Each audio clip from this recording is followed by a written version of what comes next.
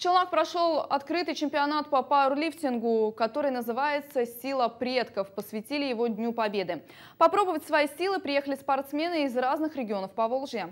Чемпионат по пауэрлифтингу и армлифтингу проходит в Челнах не первый год и стал традиционным, рассказывают организаторы. На него приехали более 80 спортсменов в возрасте от 13 до 68 лет. Есть э, фавориты в тех или иных возрастных или весовых категориях. Представлена сборная набережных Челнов. А, также приехали к нам в гости сборная Республики Башкортостан, сборная Бугульмы и сборная Удмуртия. Среди мужчин и прекрасные дамы. Хрупкая на вид Эля Рамазанова работает фитнес-тренером. Сейчас она поднимает 80 килограммов, но во время выступления на соревнованиях вес увеличит. Ну, интересно. Хочу, ну, как бы, как сказать, ну, попробовать просто. Да. Какой вес хотите поднять? 97 с половиной. Получалось на тренировках? Да. Сейчас какой настрой?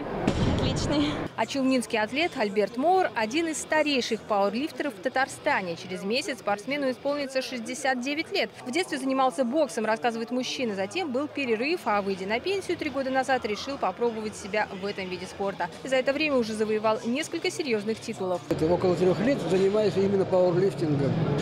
Ну, в прошлом году я участвовал в восьми турнирах, в том числе в Москве на чемпионате мира, стал чемпионом мира.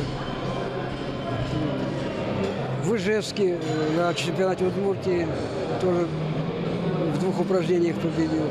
Ну, не считая того, что чемпион Татарстана уже пять раз. Соревнования проходили с утра и до позднего вечера. Светлана Фарзеева, Петр Греков специально для программы «Город».